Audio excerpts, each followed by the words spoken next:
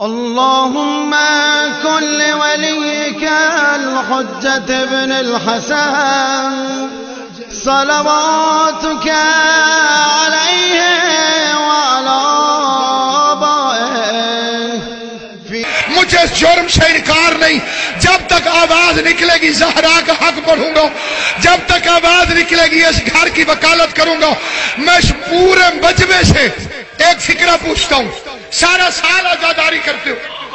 لیکن یہ جو آٹھ ربیع الاول کی آزاداری، اس جلوس کا نام ہے۔ کیا نام ہے؟ چوپ تازیے کا جلوس۔ کبھی سوچا اسے چوپ تازیہ کیوں کہتے ہیں؟ ساروں کو پتا تھا کہ بارہواں امام بدلہ لے گا۔ یہ بارہویں کے ڈر سے گیارہویں پہ ظلم کر رہے تھے۔ اور انہیں بارہویں امام کا پتہ نہیں تھا کہ دنیا میں آ چکے ہیں کہ نہیں۔ میرا گیارہواں امام، یہ جس کے جنازے میں آیا، اسے یکم ربیع الاول کو زہر ملا۔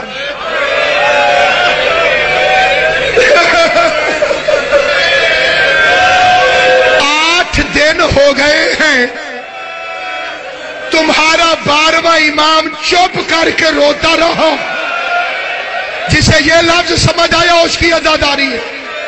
کیونکہ اونچا روتا تو فوجیں گھر میں داخل ہو جاتا۔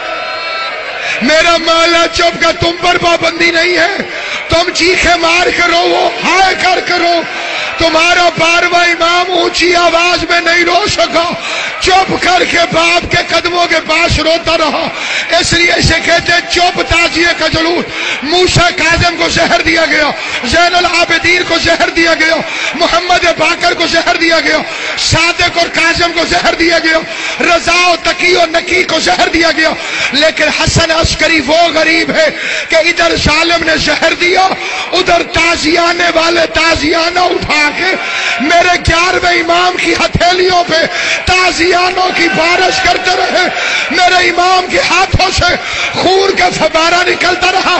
سب سے بڑا ظلم، اس کتے نے یہ کیا کہ تیرے تڑپتے امام کے سامنے اس بغیرت نے شراب پینا شروع کی. تیرا امام رو کے کہتے حیا کر، چل مجھے امام نہ سمجھ، نبی کا بیٹا سمجھ کے، حیا کر میرے سامنے شراب نہ پی میں رسول کا بیٹا ہوں، میں زہرا کا بیٹا ہوں۔ ظالم نہیں رکو تازیانے برستے رہے۔ بار بار چپ کر کے روتا رہا۔ کون سا شیعہ ہے جو ہائے نہیں کرے گا؟ بار بار چپ کر کے روتا رہا۔ بغیر تازیانے مارتے رہے۔ یا حکیم چیخ پڑے۔ بس کر کے دی مر گیا ہے۔ ہائے ہائے ہائے۔ تازیانہ روک۔ جب میں اشارہ کروں بس کر قیدی مر گیا۔ فکرہ سنو گے، جنازہ اٹھا۔ جنازے کے ساتھ ساتھ تیرا پانچ سال کا زمانے کا امام۔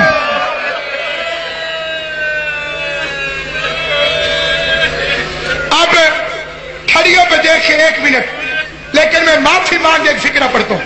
اور میں پوری ذمہ داری سے قبلہ قاسم سکلین صاحب، اس مرکزی امام بارگاہ میں اتنے بڑے گجرا والے کے فجور اداداروں کے سامنے یہ فکرہ پڑھ ہوں سب سے بڑی خواہش مومن کی، کربلا کی زیارت۔ ہے میری ساری تقریر بھول جانا یہ فکرہ یاد رکھے ہمارا ہر امام معجزتم ہر جگہ پہ موجود ہے۔ ظاہری طور پر ہر امام کربلا گیا ہے۔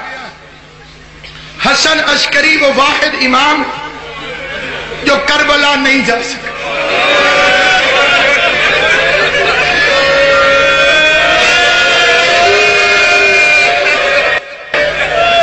جو این کڑیل جوانی میں قتل کر دیا جائے، اب زبار میرا ساتھ دینا، جنہیں زباری نصیب ہوئی۔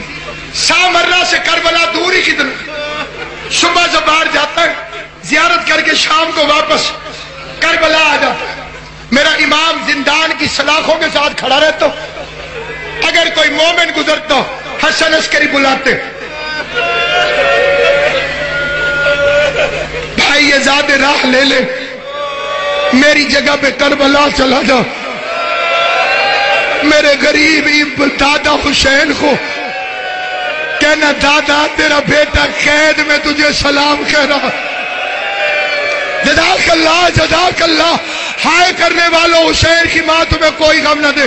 میں ذاکر حسین، میں وکیل زہرا، ممبر رسول سے ایام ازا کی آخری رات میں رانا دلال صاحب کے زیر اہتمام اس مجلس ازا میں ہر مومن اور مومنہ سے ایک اپیل کرتا ہوں، اگر ہو سکے تو ابھی ابھی منت مان لو۔ مولا حسن عسکری، تو ہمیں کربلا تک پہنچا دے۔ مولا ہمیں کربلا جانے کے اسباب بنا۔ مولا میں حسین کی قبر کو چوماؤں مولا میں وعدہ کرتا ہوں، اپنی طرف سے بوسہ بعد میں دوں گا۔ پہلا بوسہ دے کے کہوں گا، حسن عسکری کی طرف سے، وہ جو سامرہ میں تڑپتا رہا جس کا پانچ سال کا بیٹا، جعفر نے جنازہ بڑھانا شروع کیا۔ جس نے ابھی تک ہو نہیں سکتا کہ کوئی بندہ نہ روئے ہو، لیکن جس نے ماتم کرنا ہو، وہ فکرہ سنے۔ چچا جنازہ بڑھانے لگا۔ میرا پانچ سال کا امام قریب آیا۔ ابا میں ہاتھ ڈال کے کہتے چچا ہاتھ امام کا جنازہ امام پڑھاتا ہے۔ معصوم کا جنازہ معصوم پڑھاتا ہے۔ تیرے پانچ سال کے امام مہدی نے حسن عسکری کا جنازہ پڑھانا شروع کیا۔ یہ فوجوں نے تلواریں کھینچی کہ ٹکڑے ٹکڑے کر دیں گے۔ نماز ختم ہوئی۔ فوج امام زمانہ کی طرف دوڑی۔ تیرا مولا غائب ہو گیا۔ میں کہتا مولا تو امام تھا۔ تو چھپ گیا۔ بتا سکینہ کہاں چھپے جب شام غریبہ میں حسین کی بیٹی، بعد قتل حسین، کسی نے